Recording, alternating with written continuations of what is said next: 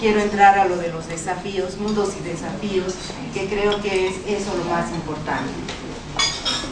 Es evidente que la ley 348 nos plantea modificar incluso nuestra mirada social y cultural. Y eso significa, desde mi punto de vista, eh, desestructurar y deconstruir a la sociedad. En primer término, para que, para que se desnaturalice la violencia contra las mujeres. Por lo que la primera medida desde el Estado tendrá que ser acogida a la ley y al decreto número 1363, destinar recursos económicos que permitan no solo promocionar la ley, sino motivar cambios de comportamientos sociales frente a la violencia como dispositivo de control, vigilancia y eliminar estos mecanismos señalados en la introducción, eh, denominados como micromachismo, incluso de bromas o. No me refiero solamente a el poder político. Me refiero también a las bromas que van circulando entre nuestros grupos de trabajo, nuestros grupos de amigos y amigas, etc. No solamente hechos de eh, bromas hechas por hombres que han sido interpelados, eh, sino también entre mujeres. Mm,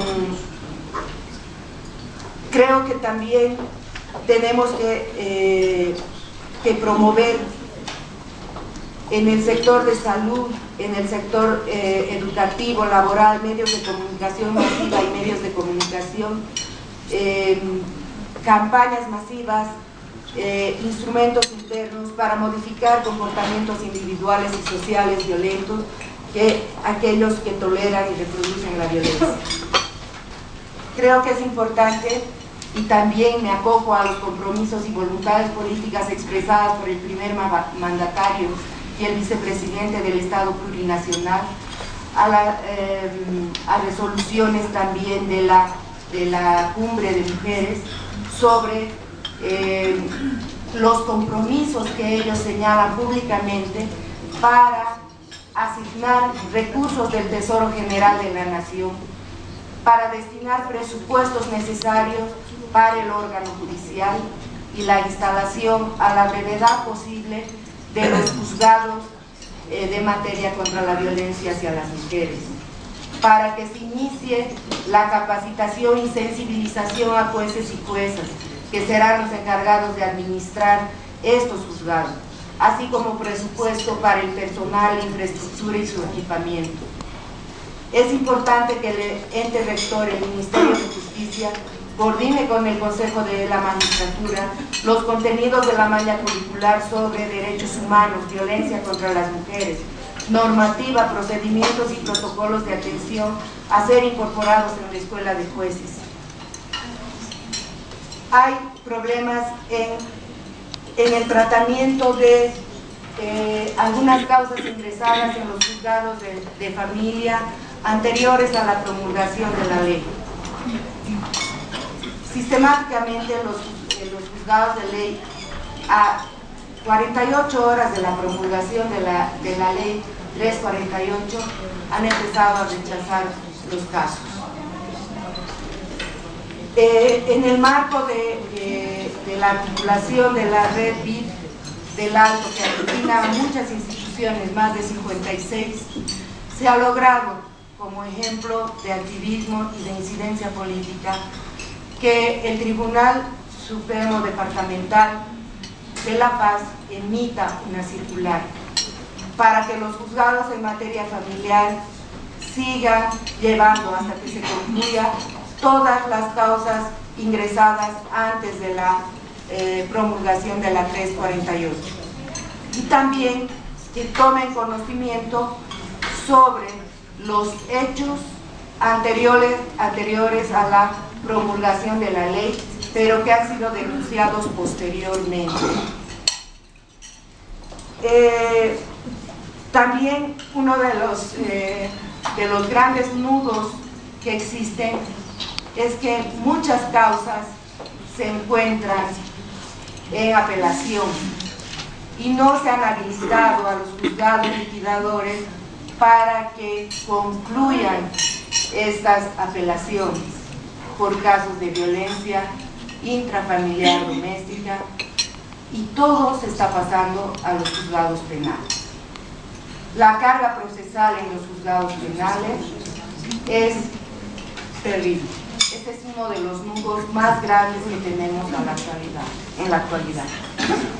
Sin embargo, se están haciendo algunas cosas que deberían ser replicadas a nivel nacional. Que tomen en cuenta tanto nuestras legisladoras, que tomen en cuenta también los del Poder Ejecutivo. Tienen la posibilidad de hacer incidencia tanto en el órgano judicial como en el Ministerio Público para que emitan instructivos para que en este proceso de transición entre lo que es la ley 1674 y la nueva ley 348 simplemente tienen que haber mecanismos de conclusión, de solución, no de conciliación, de conclusión de algunas causas. No es posible que la brigada que tenía mandatos exclusivos, que ahora diga que no puede atender causas y que no sabe dónde remitir. ¿Qué es lo que hacía antes cuando había lesiones? Remitir a la PLC. ¿Por qué ahora se sienten atadas de mano? Cuando remitían a la PLC, ya se asignaba una un investigador. ¿Por qué no se hace ahora eso? ¿Por qué algunas voces de los servicios como los SLIM u otros dicen que las mujeres están desprotegidas porque se les dice que ahora sí va a haber sanción y que las mujeres ya no vuelven? ¿Acaso la ley 1674 no definía sanciones? que no hemos hecho funcionar la sanción. Esa es otra cosa.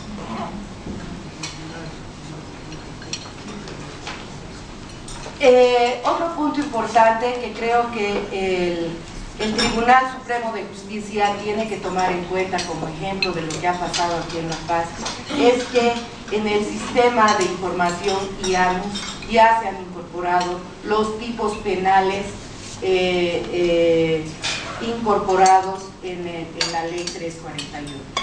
Esto significa que sí se va a poder eh, ya abrir causas por feminicidio, por rapto, etc. Em, creemos que uno de los, de los, eh, de los nudos también en la administración de justicia es esto de la reincidencia.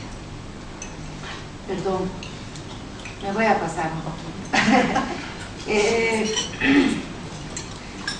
se supone que, eh, que a petición de la mujer, según la ley 348, en una sola vez, a petición de la mujer, se puede conciliar.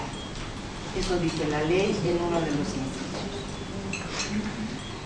¿Qué pasa con la historia de violencia de las mujeres?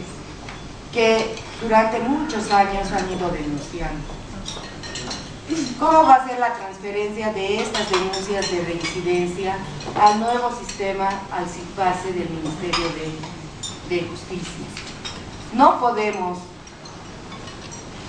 ni siquiera imaginarnos que a partir de la ley 348 se inicia la historia de violencia de las mujeres. No nos podemos olvidar de esas historias de violencia y que muchas de esas están en riesgo de feminicidio.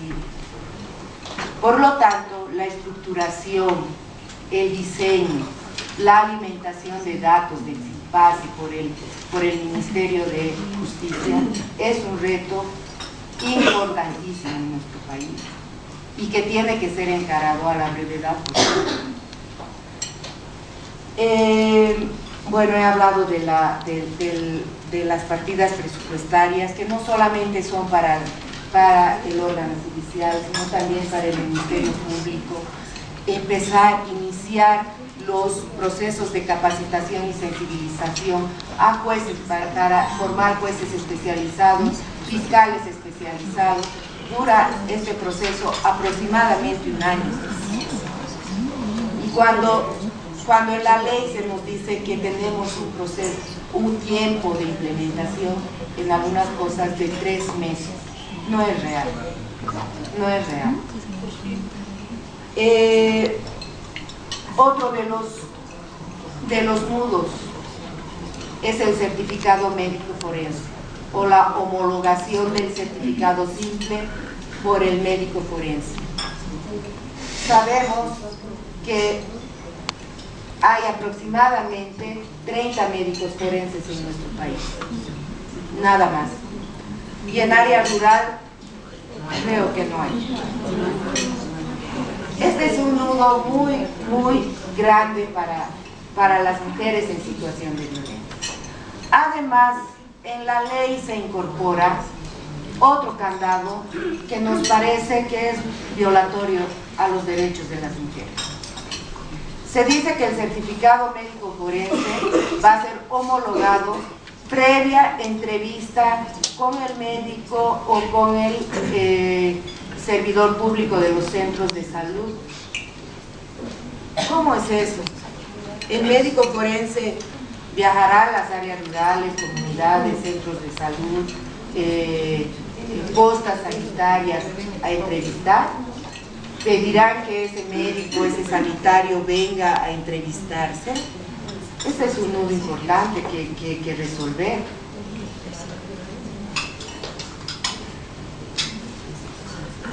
Y finalmente creo que a partir de todas estas estos nudos, desafíos, uno de los más importantes es la formulación de una reglamentación general que dé señales no solo de voluntad política, sino que asegure procedimientos en nuestro país.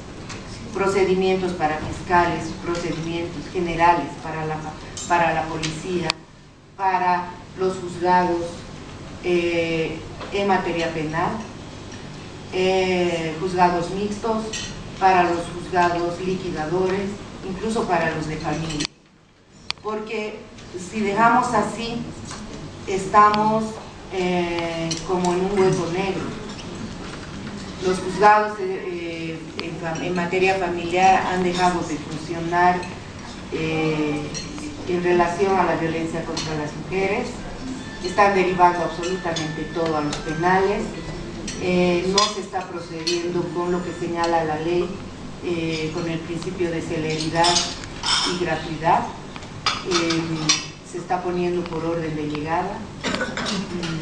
Sabemos de la carga de, procesos que tienen los juzgados, además de las acefalías que existen en el sistema judicial, que por lo tanto prioritario es la formulación de una reglamentación general para que funcione